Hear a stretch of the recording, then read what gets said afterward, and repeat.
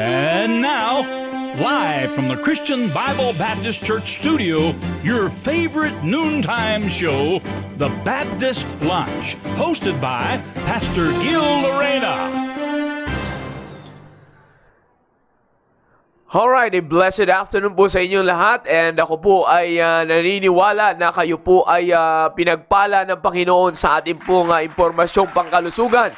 And uh, maraming salamat po kay Doc Lani. Na kasama po kanina na nag-discuss po and I believe that uh, malaki po ang naitulong ng ministry po natin ng programa pong iyan sa bawat isa po sa atin na nanonood. Ngayon po ay uh, tayo na po ay nasa ating programang The Baptist Lunch. After the physical, now we proceed to the most important part, ang ating pong spiritual, uh, uh, the spiritual part of our program. I mean, yung ating pong pinag-uusapan ay para na po sa ating pang spiritual na kalusugan. So, uh, let's make sure na tayo po ay, uh, we will pay attention to this, especially for the families na ngayon ay pangkasalukuyang nanananghalian. And uh, again, siguro naman ay uh, pati yung online classes ay naka-break time kayo sa oras ng alas 12.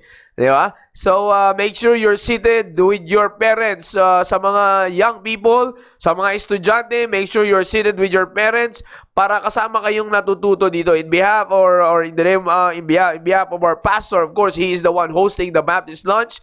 And uh, sa segment po na ito ay uh, mamaya-maya rin po ay uh, prayerfully makasama po natin siya. Alright? Pero ngayon po ay of course ay hindi po tayo uh, hayaan ng Panginoon na hindi po tayo pagpapalain o maaabot ng kanyang mensahe sa oras po na ito. Pero bago po introduce sa inyo, we have a speaker for this afternoon. Bago ko po siya introduce sa inyo, let's open in prayer first. First, let's close our eyes and bow our heads. Let's pray. Heavenly Father, thank you, O God, for the successful uh, program ng impormasyong pangkalusugan. Thank you for uh, uh, the, the host and the co-host, O God, na patuloy niyo pong ginagamit.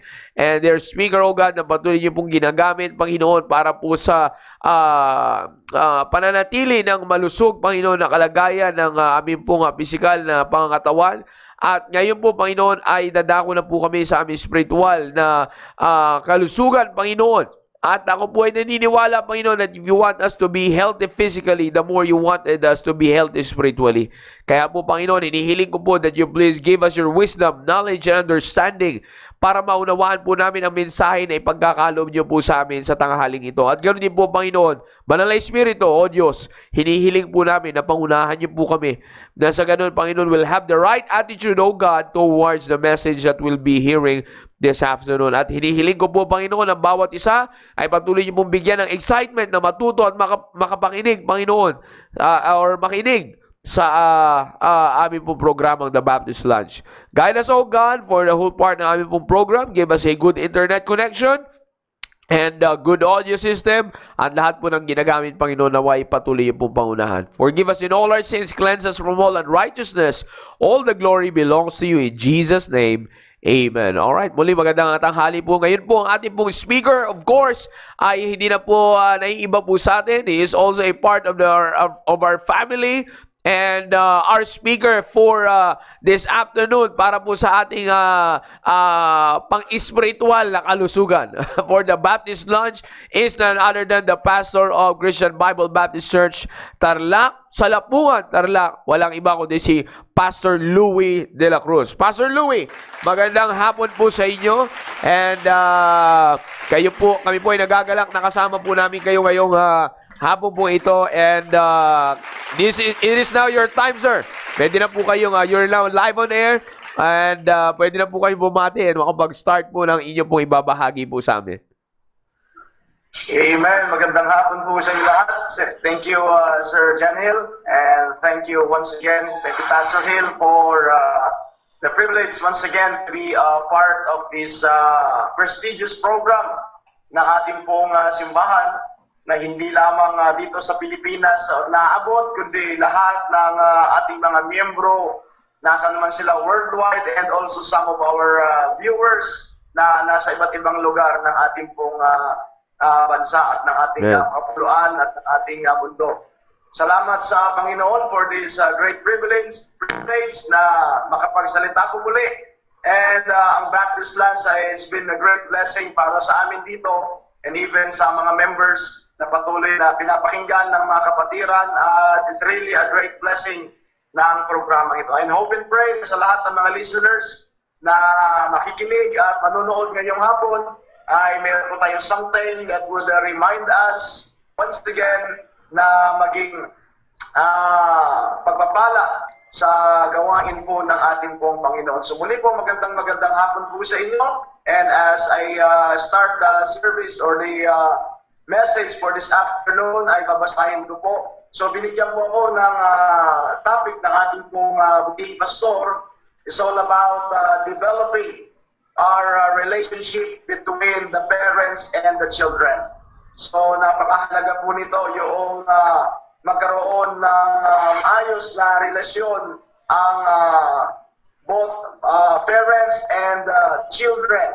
At salamat po sa Panginoon sa programa ng ating simbahan na meron po tayong ganitong program upang tayo po ay matuto at uh, maging bahagi patuloy na makapag-build ng uh, godly family. So yun po yung ating pong desire, yung magkaroon po ng godly family. So ano po, yun po yung ating uh, desire na magkaroon ng godly family. So Ephesians chapter number 4 uh, sa ating po mga Bible.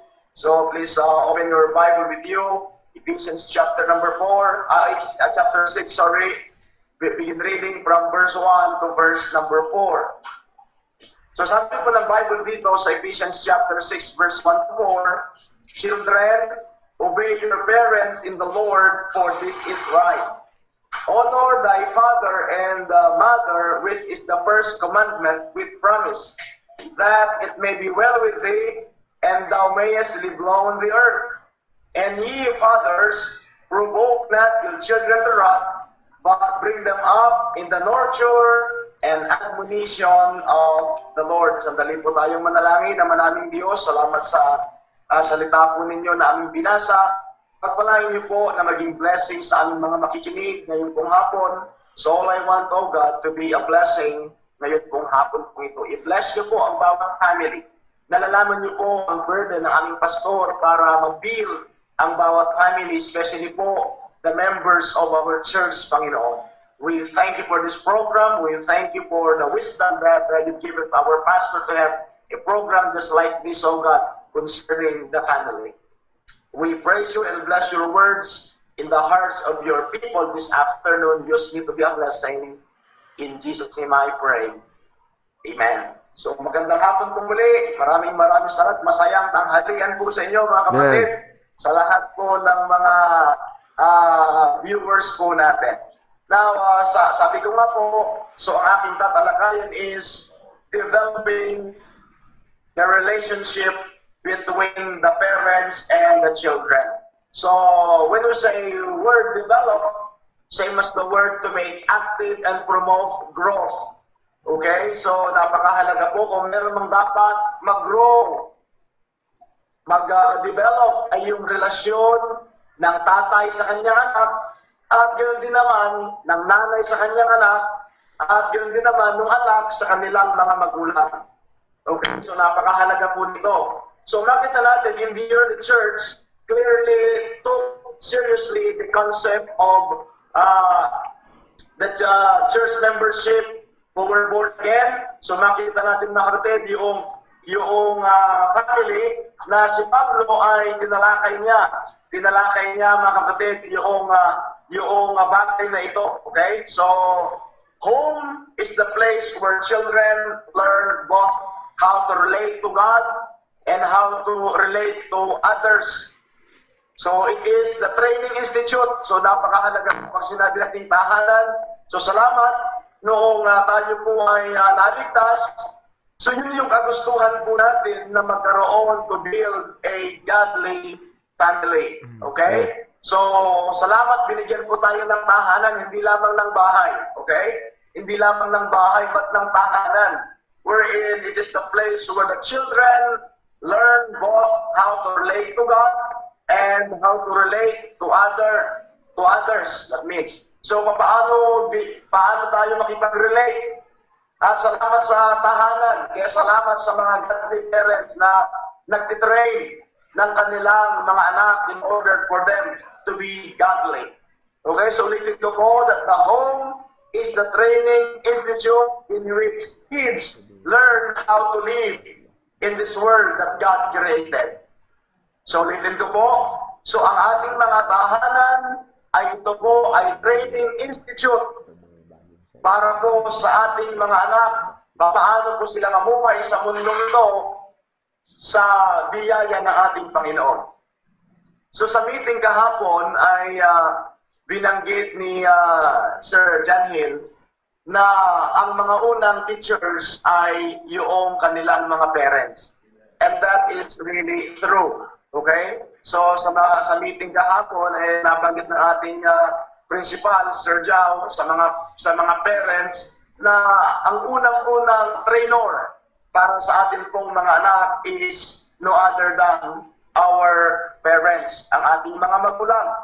Kaya nga po yung mga teachers natin sa mga eskwelahan ay pangalawang That's pangalawang teachers na lamang po yon. Ano That's po? right. At ang unang-unang uh, tahanan, ang, ang, ang unang-unang training school natin is no other than ang ating pong mga tahanan. Ito po yung ating training institute wherein dito tayo tinuturuan ng ating pong mga magulang ng mga napakahalagang mga bagay bilang isang Kristiyano. So ano po, so ulitin ko po, salamat na meron po tayong ah, godly home. Salamat meron po tayong godly parents na nag-train po sa atin sa ating pong ah, buhay bilang isang ah, Kristiyano. Binigyan po tayo ng ah, magandang ah, tahanan upang doon po tayo mahubog ng salita ng Diyos. And thank God na mayroon po tayong simbahan na kasama, naalala niyo po lagi ang sinasabi ng ating pastor na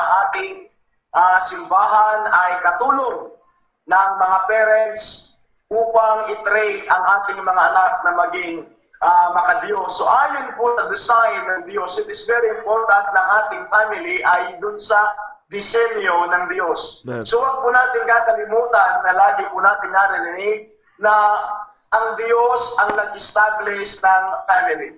Yeah. And if God, who is this, uh, the, who established the family, so dapat yung design po ng Diyos, yung design po ng Diyos ang dapat masunod, hindi po yung ating disenyo. Kundi yung design talaga ng Diyos. Kaya nagpapasalamat po tayo sa simbahan, na ang simbahan po natin ay katulong ng ah, ating mga magulang upang bigyan po tayo ng tamang instruction that comes from the Word of God na siya ang Yeah. ating pong batayan ng ating pong pagtayo ng ating pong pamilya.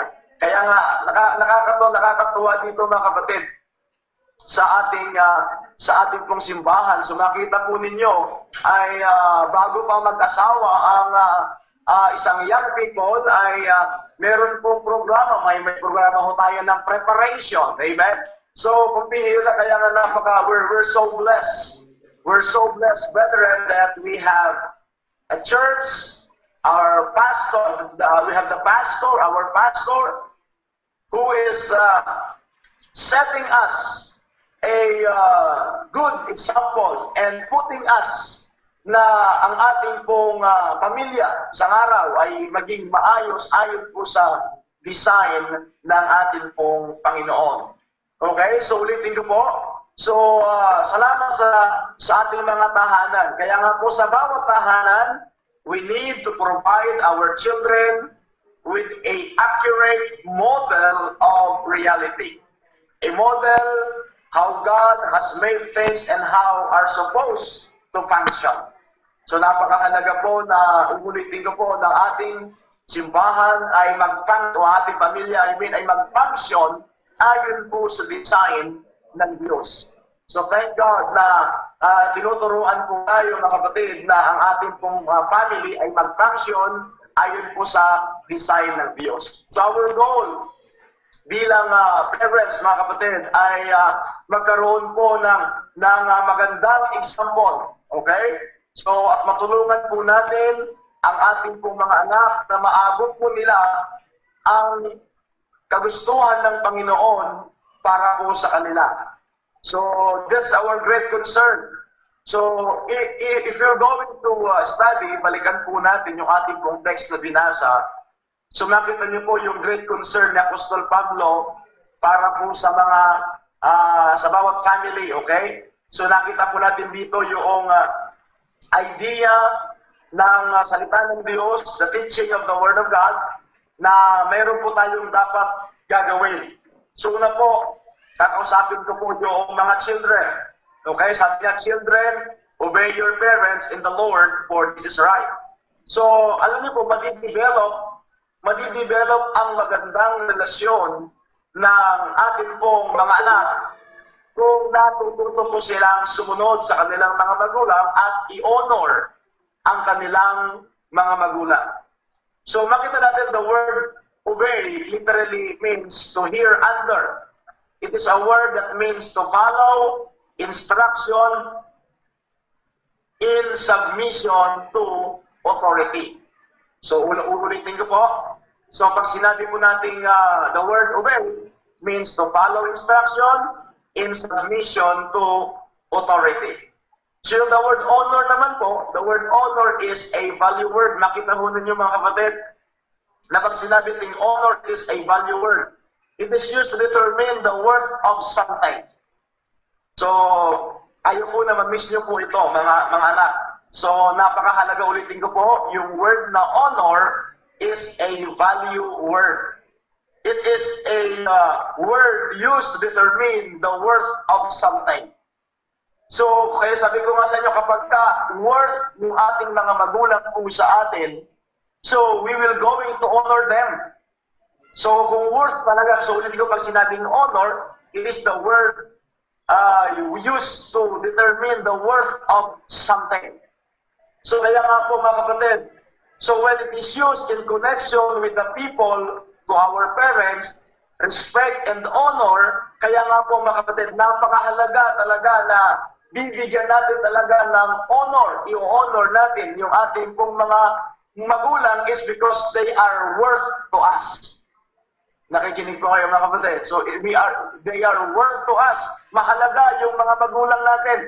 They are valuable sa ating pong mga paningin. Kaya nga lagi pong sinasabi mga kapatid na hanggat nandiyan po yung ating pong mga magulang ay bigyan natin sila ng importansya sapagkat napakahalaga po sila sa atin. Okay? So napakahalaga po ng ating mga magulang sa atin. Kaya nga po mga kapatid, kapag ka tinignan natin yung idea ni Apostol Pablo dito, so dapat mahalaga na tayo po ay magbigay, magbigay pugay, at uh, bibigyan natin ng highest regard and respect ang ating pong mga parents. So yun po yung napakahalaga. So noong tinalakay po ni Apostol Pablo ang mga bagay na to, so ginamit niya po yung word na obey and honor. So ulitin ko po na pinapakita ho dito ni Pablo na pag sinabi nating honor is worthy and valuable. So kaya nga po, it is the worth of something. Kaya nga po, ang tanong ko po sa mga bata, sa mga anak po ngayon ay gaano po kahalaga ang ating mga magulang para sa atin. Alam niyo, sometimes eh, nakikita lamang po natin ang halaga pag wala na po sila. Pag huli na po. Kaya nga po mga kapatid, mga anak, habang nandiyan po yung atin pong mga magulang ay bigyan natin sila ng honor. Yung worth, yung, yung sila po ay valuable sa atin. No, no, bakit po? Bakit po sila ay valuable po sa atin? Naniniwala naman po ako na hindi po natin maaabot at wala po tayo sa anumang kalagayan natin ngayon kung hindi po dahilan po sa ating pong mga magulang. So napakahalaga po na let's develop our right relationship sa ating pong mga magulang bilang mga anak. So ulitin ko po, anumang estado po meron po tayo ngayon, anumang kalagayan meron po tayo ngayon, hindi natin maabot po yan, hindi din makakamtan po yan kung wala po yung mga magulang natin na nagtyaga po sa atin na tayo po ay arain, tayo po ay turuan, tayo po ay uh, bigyan ng importansya, tayo po ay pahalagahan. Kaya nga po, napakahalagang bagay na i-honor po natin yung ating pong mga magulang. So, let's have a right relationship. Kaya nga po, kung meron tayong maayos na relasyon sa ating Panginoon, naniniwala rin po ako na magkakaroon po tayo ng maayos na relasyon para sa ating pong mga magulang. So, bigyan natin sila ng honor. They are worth something. So, ulitin ko pa pag sinabi natin, honor means worth the worth of something. Kaya nga paano po natin pinapahalagahan yung ating pong mga magulang, gaano po sila kahalaga sa atin. Kaya nga po, lagi ko pong sinasabi, samantalahin natin yung pagkakataon na kasama natin yung ating mga magulang at sila po ay nasa sa ating piling pa at uh, nakaka-fellowship natin sila, nakakausap natin sila, at higit sa lahat mga kapatid, kung kasama natin na nagsisilbi sa Panginoon ng ating pong mga magulang. Amen? Pambira, gaano kasaya na tayo po ay gumagawa ng something para sa Panginoon together with our parents. Pambira, gaano kasaya na kasama natin ang ating mga parents na gumagawa para sa Panginoon. Kasama natin yung ating parents na nagtatrabaho para sa Panginoon. Kasama natin yung ating parents na pambihira honestly po, hindi, hindi ko po naranasan yon na uh, oh, short, time na lang kasama ko yung tatay ko. Uh, naging usher sa saglit dito sa simbahan noong panahon na siya nabubuhay pa. At sabi ko nga po, how I wish na kasama ko pa ngayon yung tatay ko na naglilingkod sa Panginoon. Kaya nga mga kapatid, oh, gaano, gaano kasaya. Kaya sabi ko nga po eh, sana ay natagdagan pa yung panahon na siya po ay kasama ko. But then, uh, hanggang doon na lamang po talaga yung kwan ng Panginoon.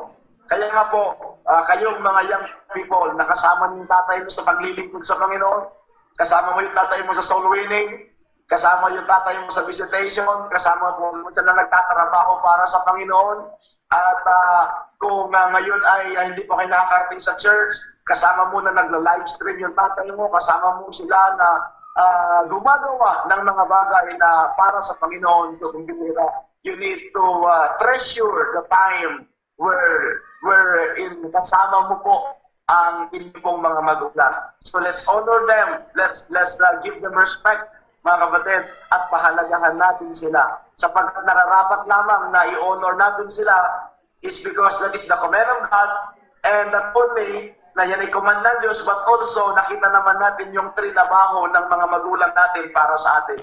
They cared for us, They provide our needs. Amen. They love us. They protected us. At higit sa lahat, kung kayo pong mga kabataan ay ang inyong mga magulang ay nag, sila ang nagdala sa inyo sa tamang pananampalataya, what a great blessing. Amen. Amen. Dinala tayo ng ating mga magulang sa tamang pananampalataya at yan ang napakahalagang ipinamana sa atin. Yan ang pinakamahalagang treasure na ibinigay sa atin yung tayo po ay uh, iminulat nila sa tamang pananampalataya. Minulat tayo mga kapatid sa tamang pananampalataya. Ang bihira, tayo po ay uh, binigyan ng tamang pananampalataya. Hindi ho pananampalataya na tsampa. Yeah. Hindi yeah. ho pananampalataya na pinulot lamang. Hindi lamang po ito basta-basta ang pananampalataya, kundi pananampalataya na itinuturo ng salita ng Diyos. Tinuturo ng Biblia. And thank God, we're Baptists. Amen? At salamat sa Panginoon, tayo po ay nasa tamang pananampalataya. Hindi po ako nahihiyang sabihin ito sapagkat alam ko kung anong sinasabi ko. Yeah. Kaya salamat na binigyan tayo ng tama, tamang pananampalataya, panan, pananampalataya na binaglaban ng ating pong mga forefathers. So, thank God. Ulitin ko po. So, we need to honor our parents is because They care for us. They love, they love us. They, uh, they provide our needs. Pambihira, naalala, naalala niyo po yung uh, ginawa ng mga magulang natin para sa atin. Pinotektahan tayo. Kaya mga kapatid, as, as uh, mga anak, we need to respect their decision for us. Amen? Irespeto natin yung decision nila para sa atin. At uh, irespeto natin mga kapatid yung uh, uh, kanilang mga mga ginawa para po sa atin. At higit sa lahat, alam niyo, makikita din natin na pinapahalagahan natin yung mga magulang natin na kung yung mga provide nila para sa atin ay kanilang ating iniingatan. Mm. Okay? Yung mga ibinigay nila sa atin ay atin pong iniingatan. Kaya nga po mga kapatid, ingatan natin even the material things na ibinigay sa atin na iniingatan natin at higit sa lahat yung mga spiritual things na provide sa atin ng mga magulang natin, iningatan natin. Amen? At uh, higit sa lahat yung mga aral na tinuro sa atin ng ating pong mga magulang. Aral mga kapatid, tinuruan tayo paano maging marespeto, tinuruan po tayo paano po maging uh, malapit sa Panginoon. Everything na i-provide nila sa atin. So that's why we need to uh, respect our parents and honor our parents. Okay? So yun yung napakahalaga para sa mga uh, anak sa uh, magulang. And the next point is para naman sa magulang, para sa kanilang anak naman. So, so yun yung first part. So ulitin ko po bago po ako pumunta sa next point ko is na pinakita natin dito. So binasa ko po sa inyo yung Ephesians chapter 6 verse 1. Children, obey your parents in the Lord, for this is right. Honor thy father and thy mother, which is the first commandment, with promise that it may be well with thee, that thou mayest live long on the earth. So nakita natin dito yung promise. So ulit, inulit ko po. So nagkakaroon po tayo ng maayos na relasyon at madidevelop po natin yung ating relasyon sa isa't isa kung atin pong gagawin yung kautusan ng salita ng Diyos. So, para sa mga anak, tuma, sa magulang, iso yun po yung una kong binanggit po sa inyo na napakahalaga po na we need to obey and respect our parents. So, doon po sa sa salita ng Diyos sa Ephesians chapter number 6. So, yun po yung first part. So, children to their parents. Ngayon naman po, ay parents to their children. That's the part 2 or second point ng aking pong tatalakayin sa inyo sa ilang uh, sandali, ilang minuto mo po. So, napakahalaga po yon. So, parents, we need to raise our children with loving discipline. So, yan naman po ang gusto ko pong uh, ipaunawa. Sapagkat nakita po ninyo, dito po sa binasa natin sa verse number 4. And ye fathers, provoke not your children to wrath, but bring them up in the nurture and admonition of the Lord. So makita natin dito mga kapatid, the responsibility ng parents para sa kanila pong mga anak. So napakahalaga po nun. So hindi lamang natin sila pakakainin ng physical na pagkain, but we, we have the responsibility. Kaya nga sabi niya, bring them up. So una sabi niya, provoke not your children to wrath. Kaya nga po mga kapatid, huwag naman sana na uh, tayo ang magiging dahilan upang sila po ay magalit o magtanim ng galit. Okay? So, yun ang ibig sabihin po ni Paul sa verse number 4 ng Ephesians chapter number 6. Kaya nga sana po ay huwag naman sana maging dahilan na tayo, tayong mga parents ang maging dahilan upang magtanim po sila ng galit po sa atin.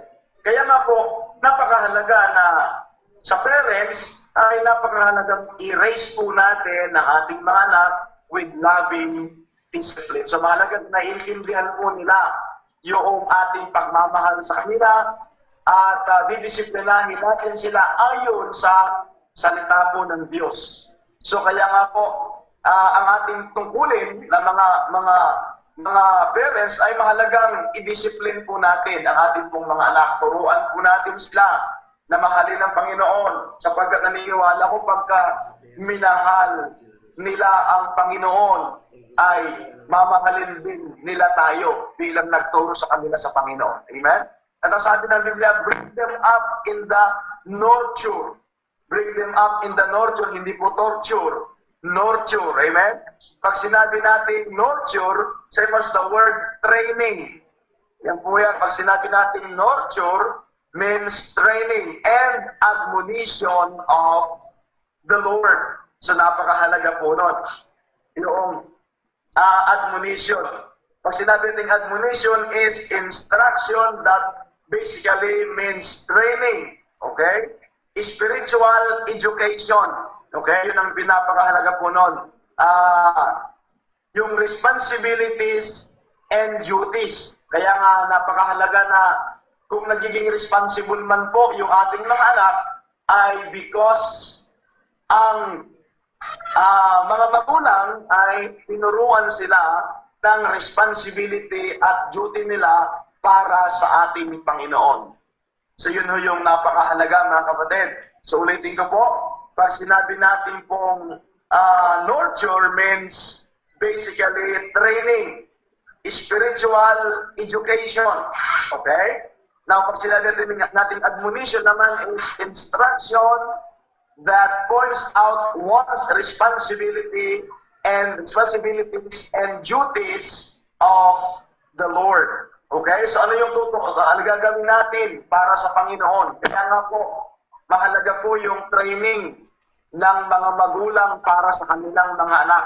Kaya nga lagi natin pong sinasabi, salamat po sa ating simbahan, na ang ating simbahan ay para sa ating mga anak.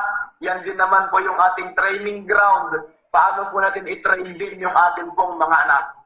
Kaya nga alam nyo, sa panahon po ngayon ng pandemic, ito ang problema ng napakarami pong mga tao ngayon. Marami na pong mga walang church, wala, wala, wala ng church.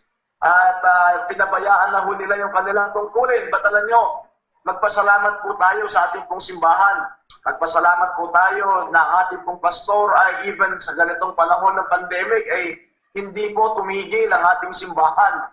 Bagamat hindi lamang po tayo nagtitipon-tipon, hindi po kayo sa ating simbahan sa Fort Bonifacio, but thank God for the uh, program na meron po ang simbahan natin. Kaya nga mga kapatid, magpasalamat tayo na ang simbahan ay patuloy pa rin nagpa-function. Patuloy na nir- nire-reach out ang ating mga pamilya. At salamat mga kapatid sa ah, ating pong ah, ah, simbahan na patuloy na nag-function. Nakatulong po natin upang pagtibayin ang ating pong family at patuloy ho na ah, ang ating buhay ay masumpuan para sa ating pong Panginoon. Kaya nga po, salamat. Hindi tumitigil yung ating simbahan para turuan po tayo how to train our children, how to uh, be develop. Ang ating relasyon ay patuloy na ma-develop, patuloy tayo mapalapit sa Panginoon, at sama-sama maayos ang relasyon ng uh, tatay sa kanyang anak, at yung anak, maayos ang kanyang relasyon sa kanyang tatay, maayos ang relasyon ng nanay sa kanyang anak, at yung anak sa kanyang nanay. So every member of the family ay patuloy na madidevelop ang ating magandang relasyon because of the principles of the Word of God na atin pong patuloy na pinag-aaralan. Amen. Okay? Kaya nagpapasalamat po tayo mga kapatid sa ganitong pagkakataon. Wherein nare-remind po tayo sometimes, sabi ko nga po,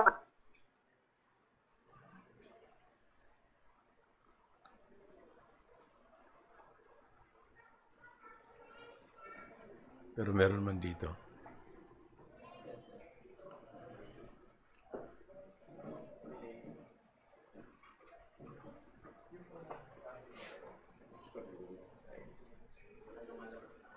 Sir, nawala ng sound.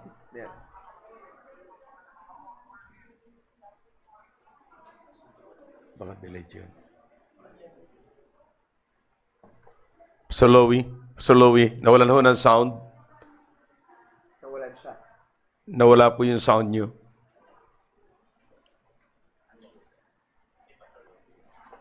Pakitignan po yung jack. Hindi, baka sound niya, baka nag-lobat.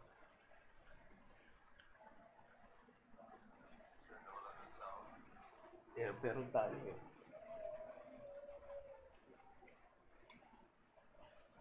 Wala pa rin. Yung.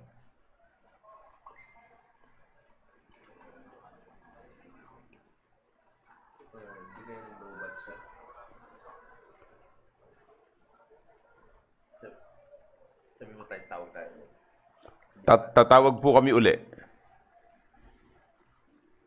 Ah, pansamantala lamang po na medyo nawala ng sound pero tatawagan po natin uli si Pastor Louie mga kapatid. Maganda ho yung kanyang tinatalakay mga kapatid. Okay na, okay na. okay na po sir. Okay na. Pastor. Okay na po. Oo. Okay, thank you po. So, ulitin ko po, magpapatuloy natin mga kapatid. So, medyo nagkaroon lang po ng interruption. So, parents, raise our children with loving discipline. The next one is, we need to discipline with self-control. Amen? So, we need to discipline. Kaya nga mga kapatid, kapag ka tayo po ay nagdisiplina, ay dapat mayroong self-control, hindi puro galit. Kaya madidevelop natin, sometimes, alam nyo, bilang isang tatay, nararanasan ko po yan eh, kasi nagdidisiplina tayo na puro galit minsan. But uh, we need to have self-control. So, uh, kaya nga mga kapatid, ang problema natin ay kapag nagdisiplina tayo na wala tayong self-control. So, yun ang nagiging problema mga kapatid. So, tatandaan po natin na pag dinisiplina natin yung ating mga anak, ay dapat mayroon pong uh, self-control. So hindi puro galit yung nakikita nila sa atin. Kaya dapat yung pag-ibig, pagmamahal, ang uh, maramdaman po nila sa atin mga kapatid, hindi yung galit. Okay? So naniniwala tayo na uh, kapag dinidisiplina natin sila, mahalaga na maramdaman, maramdaman po nila na mahal po natin sila, kaya dinidisiplina po natin sila. At uh, ayaw natin na mapariwara yung ating mga anak. That's why uh, we need to discipline them and uh, mahalagang malaman nila na mahal natin sila at uh, ayaw natin sila na mapariwara. So, uh, napakahalaga po yung uh, discipline. So, the next one is uh, napakahalaga din po na yung ating pong authority sa ating pong mga tahanan, tahanan ay mahalaga po na uh, mag-set po tayo ng magandang example. Okay? So, uh, napakaganda na, uh, na nagpapakita po tayo ng magandang example sa ating pong mga tahanan. Dahil dyan po tayo nahihirapan minsan sa pag-set ng example. At uh, minsan nag expect po tayo kagad-agad pero wala man po tayong ipinakita pa sa kanila. That's right. Right. Ano po? So sometimes nag expect po tayo ng isang bagay pero wala pa naman po silang nakikita po sa atin. Kaya nga po kung uh, nag-expect po tayo na prayerful yung ating pong mga anak, eh naniniwala po ako na makikitaan po yung ating mga magulang na pagiging papanalanginin. Kung uh, uh, makikita, makikitaan yung ating mga anak na mapagbigay, eh dapat po makikita muna sa mga magulang na sila po ang ating mga magulang ay mapagbigay. Amen? Hindi mm, yung uh, Amen uh, ini-expect natin na magiging giver yung ating pong mga anak, pero wala man tayong pinakitang magandang uh, uh, example para sa ating pong mga anak ng pagbibigay. Kaya nga dapat eh, tayo po yung makapagpakita ng magandang halimbawa sa ating pong mga anak. Alam niyo po minsan napakahirap na mag-set ng example. But by the grace of God, sa aral na ating pong natututunan, kinakailangan po natin gawin po ito. Kung uh, makitaan man po ng pagbabasa ng Bible, eh, dapat eh, yung ating mga magulang unang makitaan ng spiritual things bago sa atin pong mga anak. Kung uh, tayo po ay uh, makikitaan ng hungering and thirsting ng salita ng Diyos, eh, naniniwala ko na yan din ang makikita po ng atin pong mga anak. Amen? Mm. Kaya alam nyo, maging maingat po tayo mga kapatid sa pag-set ng example. Yeah. Huwag, uh, lalong-lalo na pagka uh, meron po tayong uh, galit sa ibang tao. Baka yung galit natin sa ibang tao yung nakikita ko ng ating pong mga anak, mga kapatid. That's right. Kaya right. nga pagka meron po tayong uh, uh, nakagalit, ay grabe ho tayong magpakita ng uh, hindi maganda eh yan din ho makikita po ng ating pong mga anak. That's right. Kaya nga maging maingat po tayo sa bagay na ganyan mga kapatid. At uh, lahat po tayo, wala po exempted po dito. Mula po sa akin, lahat po tayo ay uh, uh, prone sa bagay po na ganyan. That's why uh, magiging maingat po tayo sa atin pong mga ipinapakita. Kaya nga sabi ko nga po, eh, eh mahalaga talaga na makapagpakita po tayo ng magandang uh, halimbawa. Kaya kung makapagpakita yung tatay ng grabing pagmamahal sa Diyos, pagmamahal sa gawain ng Diyos, inaniniwala po ko na yung ating mga anak ay makikipagpatayan din yan sa gawain ng Panginoon. That's right, right. So yun yung uh, uh, bagay na magandang makita sa atin. Ang panghuli po is uh, mahalaga po yung correction and instruction. That's right. So para sa ating pong mga parents, it is uh, very important yun pong instruction and correction. Pero alam niyo ho, mahalaga muna na mayroong instruction before correction. Mm-hmm. So kaya nga po, naniniwala po ako na ah, magbibigay lagi tayo ng instruction at sometimes yan po yung kulang natin. Kulang tayo na, na ng instruction at sabi ko nga po kanina, nag expect na po tayo pero wala pa naman tayong tinuturo. So, napakahalaga po talaga yung instruction. At ah, yun po yung bagay na huwag natin kalimutan. So, kahit nagaano po tayo kabisi sa ating mga dapat gawin, pero napakahalaga pa rin na mayroon po tayong instruction para sa ating pong mga anak, para sa ating pong pamilya, mga kapatid. So, salamat sa Panginoon na mayroon po tayong salita ng Diyos na pagkukunan. This is our instruction buhay na salita ng Diyos at ah, yan po ang laging ipinapangaral sa atin na hindi dapat tayo tumigil na makipaglaban para sa atin pong family. So bi- bilang pangwakas po, maraming salamat at naniniwala po ako na madidevelop ang pagkakaroon ng magandang relasyon kung patuloy po nating susundin ang salita ng Diyos. Ang bawat tatay gagampanan niya ang kanyang tungkulin at yun din yung mga anak ay meron silang tungkulin gagampanan ayon sa liwanag ng salita ng Diyos sa pinag-aralan natin. So magkakaroon po tayo ng pamilya na ayon po dun sa balangkas ng salita ng Diyos at ang ating pamilya ay magiging pleasing sa Panginoon na gamit-gamit sa gawain ng Diyos because of the pattern, because of the uh, Word of God na atin pong uh, uh, napag-aaralan. That's right. So maraming Amen. maraming salamat po. Thank you po Pastor Hill for uh, giving me once again the opportunity po na maging bahagi dito po sa Baptist Lands at I hope and pray na yung tinalakay ko po ngayon pong hapon ay naging pagpapala po sa bawat nakapakinig. Amen, so maraming amen. maraming salamat po at magandang hapon po sa inyong lahat. Amen. Amen. Yan po si Pastor Louie, mga kapatid, at uh, siya po ang pastor ng Christian Bible Baptist Church sa doon po sa Tarlac na po. At uh, salamat Pastor Louie at uh, ikaw ay malaking blessing yung narinig namin sa inyo ngayon ay napakalaking blessing mo yun at karagdagang kaalaman. Uh, you know, that's that's the only way to survive no in the midst of this wicked generation, you know. Ah, hindi na ho natin to maririnig sa iba pang ano pang institusyon.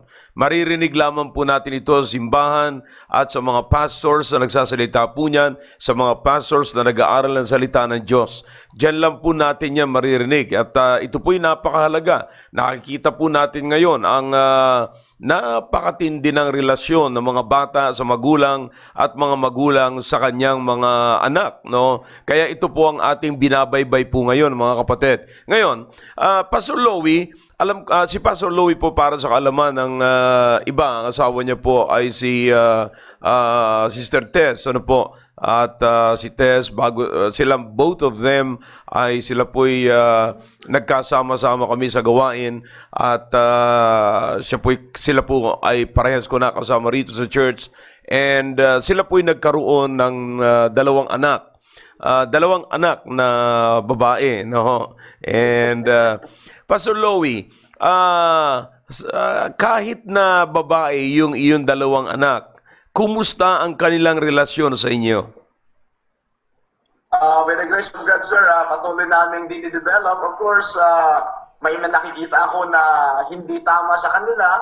That's why uh, kaming mag-asawa ay uh, uh, kinukorek po namin sila at uh, maraming beses na nakatikim din sila sa akin ng pamalo. Mhm. And until now, ay uh, hindi pa rin kami tumitigil sa ganong klase ng disiplina kaya nakatikim talaga sila sa amin. Wow. Sister Tess ng uh, ah, palo. At hanggang ngayon ay pinapalo pa rin po namin sila pagka sila po ay hindi sumusunod. All right, that's good. Ma, ah, so sa madaling sabi, Pastor Louie, hindi ano, hindi ah, problema yung kasi babae sila and then pare sila babae tapos ikaw ay bilang isang tatay. So walang walang problema sa ah, na hindi na, na hindi problema yung magkaroon ka ng magandang relasyon sa kanila kahit sila mga babae, di ba? Ga- Ganun po ba? Yes, sir. Yes, sir. So it it Yes, sir. depends on uh, how you apply the word of God sa inyong mga anak. It doesn't matter kung sila'y babae o lalaki. Yes, sir. Opo. Yeah. Kasi ang palagi nating naririnig, mga mga kapatid, alam po natin 'yan. Eh minsan sa pamilya, merong namimili o sabi sabihin ng may kun- may usapan yung mga mag-asawa. O sige, bahala ka doon sa anak natin, sabihin sa misis niya, bahala ka doon sa anak nating babae at ako naman ang bahala doon sa anak nating lalaki. Para naghahati ba sila? So it seems to me na parang hindi kayang disiplinahin or nag-aalangan magdisiplina ang tatay doon sa anak niyang babae. So hindi ka nagkaroon ng problema ganyan, Pastor. Hindi, sir. Hindi po. Hindi po. Yeah. At ah, kung ano yung dapat discipline na para sa kanila, so ibinibigay po para sa kanila. Bilang bata, bilang anak. Yes, sir. Yes, Yeah, yeah. So may mga may mga pamilya kasing ganoon eh na may mga problema. Kaya makikita po natin nagkakaroon ng paghati-hati sa bahay. Kaya maganda po yan eh. Nagkakaroon ng differences, nagkakaroon ng paghati-hati dahil lang sa ganyang kalagayan na ah pinap minamanage ng babae, yung babae at yung lalaki naman ay para sa lalaki. I don't think na yan po ay ah, dapat nating pairalin. Maraming pamilya na ganyan po. Maraming pamilya. Kaya hindi po dapat mangyari. No? May dagdag ko lang, sir. Opo. May dagdag ko lang po. So may mga panahon na pag ako nagdidisiplina, eh pinapabayaan na ako ni Sister Tess. At kapag kasi naman na nagdidisiplina, pinapabayaan ko lang siya kasi yun yung nararapat para sa kanila. Mm, yeah, tama. So magandang ano yan eh. Magandang huwaran yan sa mga ah mga mga magulang na hindi ho hindi hindi pinalad na magkaroon ng anak na lalaki. Yan. Ah, ah, ah, sa ngayon nakikinig po sa atin si ah, Brother Noel Gumabay, ang isa sa mga tagahanga po ninyo. Ano, tagasunod ninyo. So, may, may, At ah, palagay ko si Pastor Richon nakikinig din. well, anyways, eh kami naman, eh ako naman wala naman akong anak na babae. Eh, yun naman ang problema. See? Eh, but anyway, so it does the discipline mga kapatid ay nag ah, yung relasyon ay nakadepende sa discipline. See? So maganda nga yung sinabi, yung tilalaki kanina ni Pastor Louie. Alam niyo po yung salitang honor, napakahalaga po niyan eh. Ang command is to honor your parents. You know, honor is always to value. And to value, mga kapatid, para makita niyo yung value, it's it's a careful appraisal, no? It's a careful appraisal. Na ibig sabihin po niyan, you have to evaluate para malaman mo yung value. Yeah? So parang, you know, para makita ng mga anak natin kung paano tayo i-value nila. Minsan may nagba-value naman, pero mababa. You see? Eh, ganun nyo ba i-appraise? Ganun nyo ba i-evaluate yung inyong, yung ginawa ng mga parents ny- nyo sa, sa inyo, para sa inyo? Kaya maganda yung sinabi ni Pastor Louie kanina. Ano ba yung ginawa? Ano ba yung ginawa ng magulang nyo sa inyo? Pinapag, ah, ah, nung nasa tiyam pa kayo, sinapupunan kayo ng inyong mga magulang, inaalagaan na kayo nung lumabas kayo sa bahay bata ng yung ina, inalagaan kayo hanggang sa lumaki kayong ganyan. So, that's the way to evaluate, no? Para magkaroon ng magandang ah, ah, appraisal. It, be, ah, it should be it should be a careful appraisal para makita niyo yung value. You cause you you cannot honor any anyone or you cannot honor your parents if you don't value, give them the right value. You see? Na, ganun, kaya makakita kami, mga magu, may mga bata na naghihinanakit ka agad, may mga kesyo na pabayaan. Alam ko naman, wa, itong tatandaan nyo mga, mga, mga bata, walang perpekto na magulang at walang wala kayong makikitang magulang na lahat ng hinahanap nyo ay nandun na sa magulang ninyo. Walang magulang na ganon. Pero ang pinakamaganda niyan is, ano ang batayan mo? Paano mo binavalue yung iyong magulang? Yun ang dapat tingnan. See? At ganun, kasi ganun, ganun din naman kami, hinahanapan nyo kami, hinahanap kayo ng perpektong ah, magulang. Eh kami, hindi rin kami makakitang perpektong anak eh. Oh. Yan ang, yan ang punto dyan eh. Wala- Pag naghanap kami, wala rin. So, kaya ang, ang, ang, ang, ang trabaho namin is to correct you, to guide you, to lead you. Okay? Now, kayo naman, ang trabaho ninyo is to follow the leading. See? Yun ang pinakamaganda. It's not about meeting your needs. It's not about uh, praising your parents, you know. Hin- hin- Hindi. Just just follow the uh, the leading, no, ng iyong ng inyong mga mga magulang. At ako'y naniniwala na tayo po'y pagpapalain po diyan. See, at may establish ang relationship. Kaya may nasisirang relationship kasi yung anak ay hindi sumusunod. Kaya nasisira yung relationship. Makikita nyo, ito yung, ito yung, na- nakakita na kayo, maraming mga, ma- maraming mga tao nagsasabi, alam mo, ang tino-tino ng mga magulang yan, pero itong batang ito, suwail. You see? So what's the problem now? Ang problem nasa pagsunod sa leading ng mga magulang. You see? Maraming mga anak, gusto nila, reklamo na si reklamo sila, kinukumpare nila ang kanilang mga magulang sa ibang mga magulang. Pero, di, napapansin nyo ba, nung nagpapasalamat kayo mga bata, na hindi kayo kinukumpare ng magulang nyo sa ibang mga anak? Right. Yari din kayo pag kinumpare namin kayo sa ibang mga anak. See? Kaya salamat sa Panginoon. Ang magulang nyo ay talagang magulang nyo. Yan ang pasalamatan ninyo. Ang magulang nyo ay hindi kayo tinatratong hindi kayo anak. Tinatrato kayo bilang isang anak, kaya kayo pinapalo. Kaya ang pinapalo ay minamahal. At ang minamahal ay pinapalo. Okay? Alright. So, uh, inabot na po tayo ng uh, oras. Uh, Pastor Louie, maraming maraming salamat sa pag-take nyo po. Mabuti nakaabot po ako. At uh, actually, hindi pa ho tapos eh.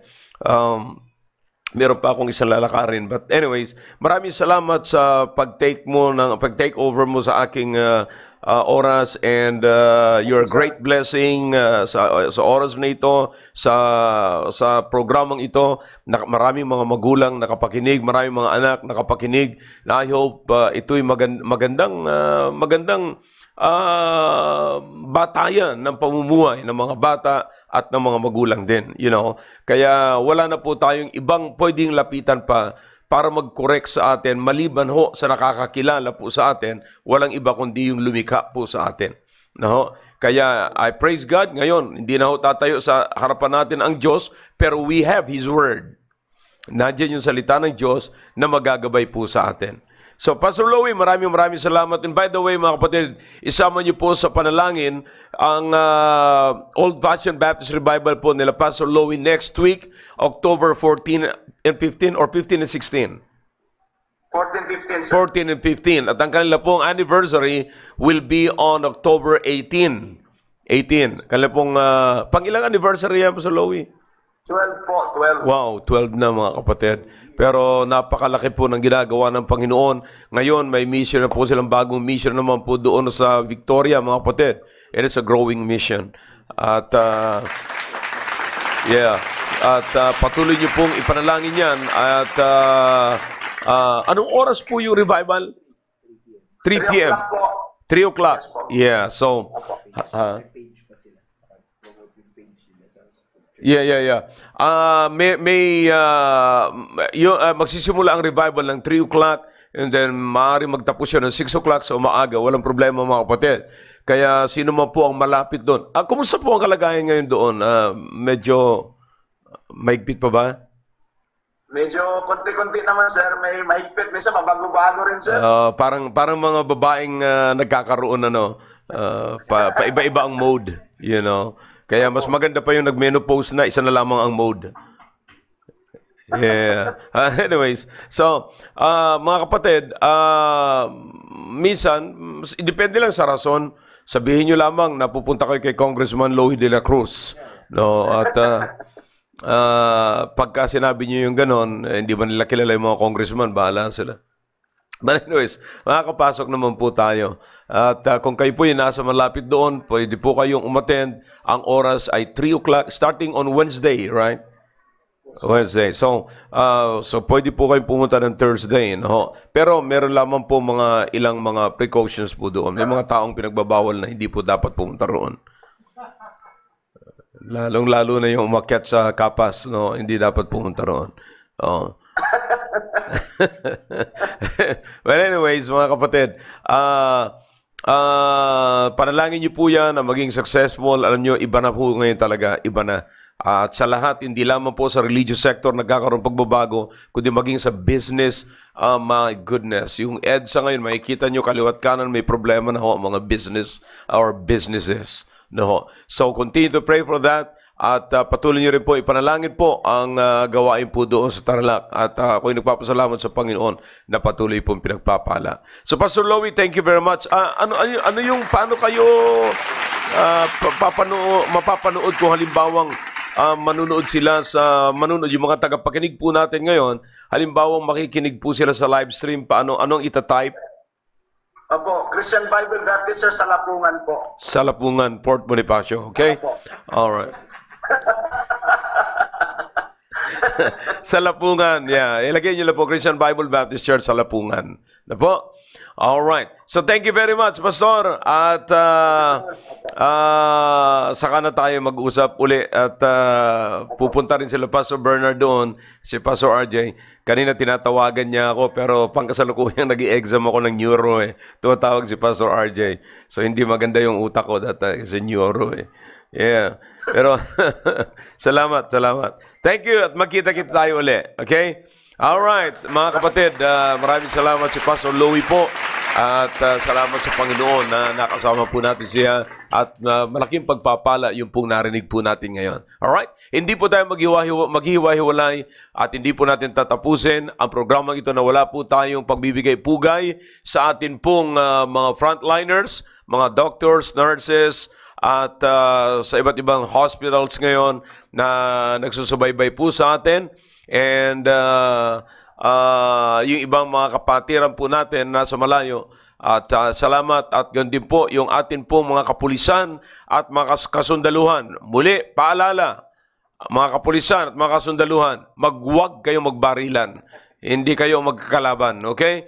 All right. And uh, sa lahat ng mga enforcers and volunteers, thank you for being there sa para sa bayan at para sa ating uh, sambayan ng Pilipino. Maraming salamat po. Ito ang awitin para sa inyo.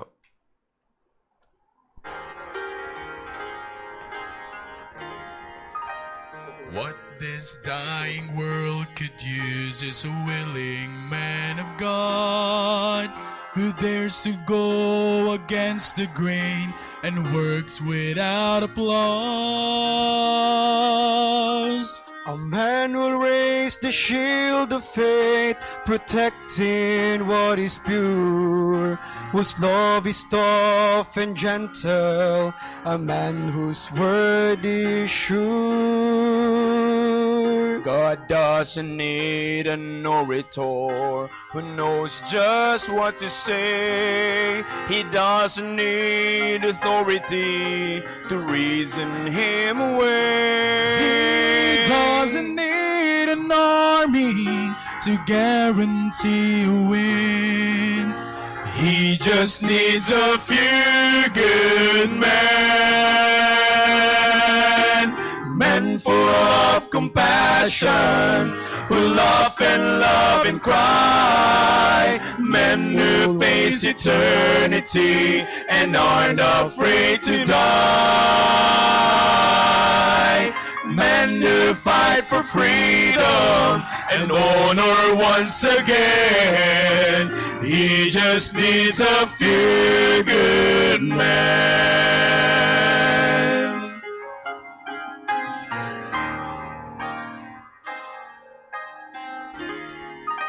He calls the broken derelict whose life has been renewed. He calls the one who has the strength to stand up for the truth. Enlistment lines are open and he wants you to come in. He just needs a few good men. Again, maraming maraming salamat po mga kapatid. And thank you for tuning in always uh, uh, tuning with us. And uh, enjoy your lunch. Enjoy the rest of the day. God bless you all. I love you all. Men who fight for freedom and honor once again. He just needs a few good men. Of compassion, who laugh and love and cry. Men who face eternity and aren't afraid to die.